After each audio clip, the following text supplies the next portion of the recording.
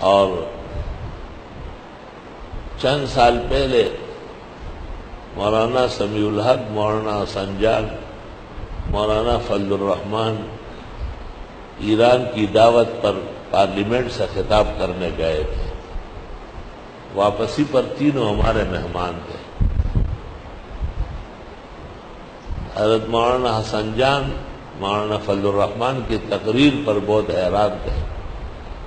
اور انہوں نے کہا کہ ایران کے پارلیمنٹ میں صحابہ کے مناقب پر تقریر کی۔ اور ان کو بہت دفعہ گھنٹی دی گئی کہ آپ بند کریں انہوں نے کہا نہیں، میں ایک تو سرکار کا مندوب ہوں، دوسرا اپنی حیثیت سے آیا ہوں، تیسرا یہاں کے مسلمانوں کی دعوت پر میں تقریباً نہیں کروں۔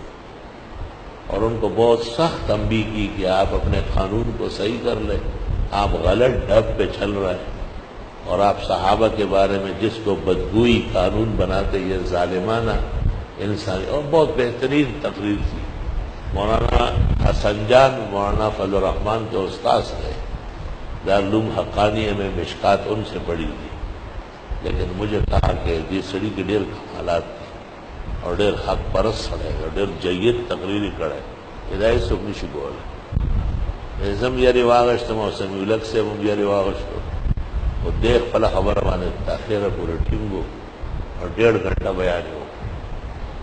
اور پورا پارلیمنٹ جو ایران کا تھا، اس کو ہلا کے رکھ دیا۔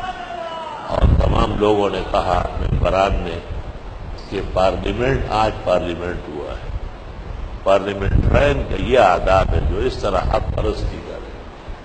اور صحابہ کرام کے حقائق اور صدائق کو ببانگ دول بیان کی اور ایک موقع پر بھی روکے نہیں اور نہ ان کی بات سنی اور ان کو بدستور کہا کہ آپ عالمی روش اپنائیں، اپنے آپ کو اسلام کے دھارے میں شامل کریں۔ آپ کا جو سلوک صحابہ کے ساتھ ہے، یہ غیر اسلامی اور غیر مسلمانانہ روش ہے۔ یوٹیوب پر سچ میں ترجمان اسلام لکھ کر ہمارے چینل کو سبسکرائب کریں۔ سبسکرائب کرنے کے بعد ہماری ویڈیو کو لائیو دیکھنے کے لیے بیل پر آئیکن جو بنا ہوا ہے، اس کے بٹن پر کلک کریں۔ آپ کا اپنا یوٹیوب چینل ترجمان اسلام بر وقت آپ کو ویڈیو